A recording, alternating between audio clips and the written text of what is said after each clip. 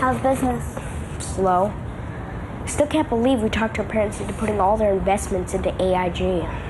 How are we to know that the company's pathologically irresponsible executives were amassing insane amounts of risk through the use of esoteric financial instruments?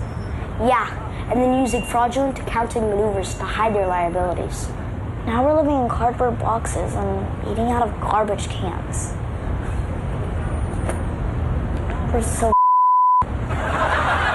AIG, you're so f- Now that's yeah.